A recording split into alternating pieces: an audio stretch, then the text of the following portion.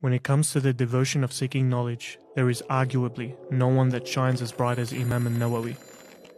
Abu Zakaria Yahya ibn Sharaf al-Nawawi, otherwise known as Imam al-Nawawi, was born in the 7th century AH in the village of Nawa, Syria, considered to be one of the darkest centuries of Islamic civilization, which saw the sacking of Baghdad by the Mongols and the continued attacks on the Muslims by the Crusader armies from the west. From a young age, the Imam wasn't a typical child who liked to play.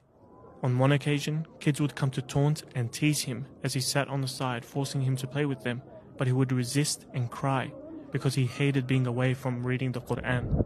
When a passing man saw this happen in front of him, he explained, A special love and affection developed in my heart for the young Nawawi. I approached his teacher and urged him to take exceptional care of this lad, as he was to become a great religious scholar. His teacher then relayed this to his father, who he himself was a pious and virtuous man. The Imam's father decided to dedicate the life of his son to the pursuit of Islamic knowledge. When he became 18 years old, he left Nawa for Damascus, which was by then the center of learning at the time. During this time, Imam al-Nawawi studied hadith and Islamic jurisprudence from some of the most famous scholars who were masters in their own respects, and by the age of 24, he was already teaching students of his own. His life was consumed with reading, studying, and teaching. It was said that he would be so taken with studying that he would not sleep until sleep would overcome him. He would then wake up startled and continue studying. He even said about himself, I spent two years without lying on the ground to sleep on my side. He would not waste any moments of the day or night, but he would spend it busy with attaining knowledge. Even when he is walking in the streets, he would be busy going over what he had remembered and reviewing his notes. He continued gaining knowledge in that way for a period of six years. The Imam was famous for his austerity and lack of desire for the pleasures of this world. In fact, the only things that he possessed were a turban and a long gown, and he would live his whole life without ever being married, as he feared that he would not be able to fulfill the rights of his wife due to his learning desires.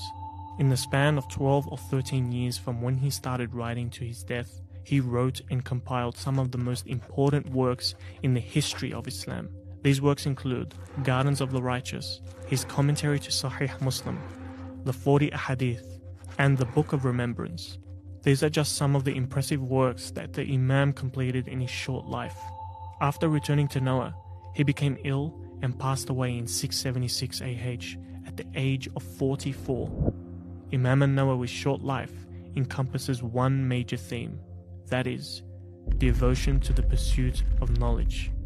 His endless nights of reading, studying, and learning serve as an inspiration for Muslims to devote themselves to the Islamic sciences and fields of knowledge. May Allah have mercy on Imam al-Nawawi and facilitate for us Muslims who are devoted to the pursuit of knowledge to uphold this religion. Ameen. If you enjoyed this video along with all the other content that OnePath Network produces, please support us so we can create more beneficial content for the world. Go to onepathnetwork.com and you can support us from as little as $1 a day. Jazakumullah khair for your support.